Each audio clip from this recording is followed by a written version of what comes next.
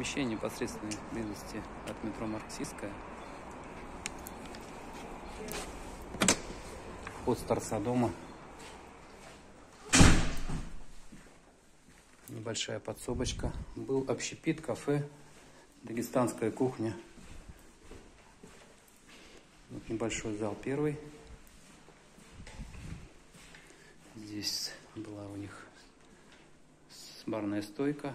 Это пожарный выход, торговый центр. Мокрая точка. Туалеты есть на первом, втором. Подсобочка. Вот такое пространство здесь. Ну, вентрисоль. Вентрисоль. На втором этаже. Здесь находилась у них кухня. Вот такого формата.